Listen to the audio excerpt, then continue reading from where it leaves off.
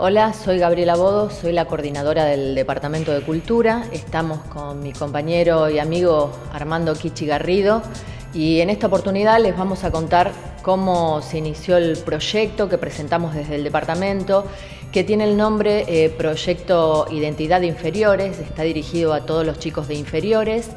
Eh, y esta es una idea que venimos teniendo hace tiempo y que queríamos presentarla y trabajarla hace tiempo justamente con el objetivo de poder acercar la historia a los chicos de inferiores, nuestra gloriosa historia.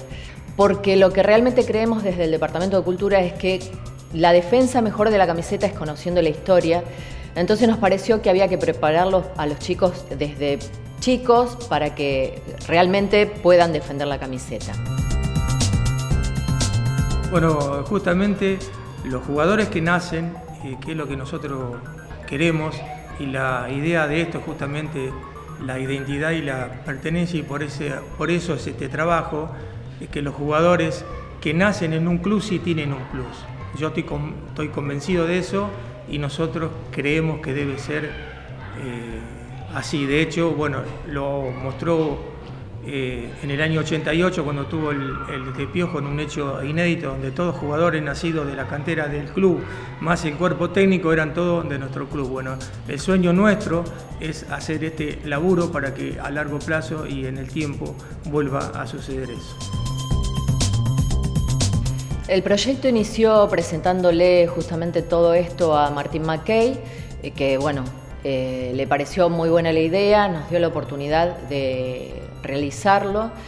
Y bueno, empezamos haciendo visitas guiadas con los chicos de séptima, octava, novena, décima y predécima. Y después cerramos con una charla en Bellavista donde eh, fue como referente del plantel de primera eh, Juan Manuel Llop. Y realmente los resultados fueron muy positivos, eh, no solo para los chicos, que mostraron mucho interés en realizar las visitas, hicieron muchas preguntas, fueron muy respetuosos, eh, sino que resultó positivo para nosotros porque realmente nos dimos cuenta de que el proyecto era totalmente viable.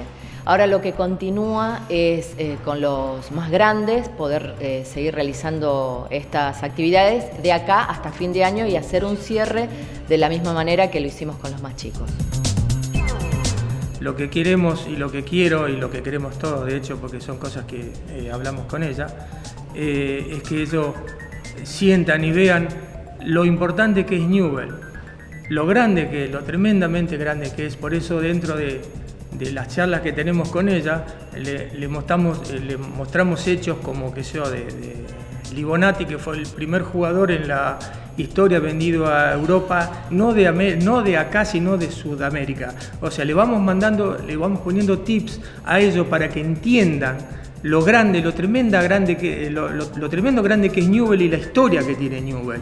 O sea, ponerse esta, la camiseta de este Newell es único. Ellos tienen que sentir no solo orgullo, pertenencia y saber que están defendiendo algo que es maravilloso.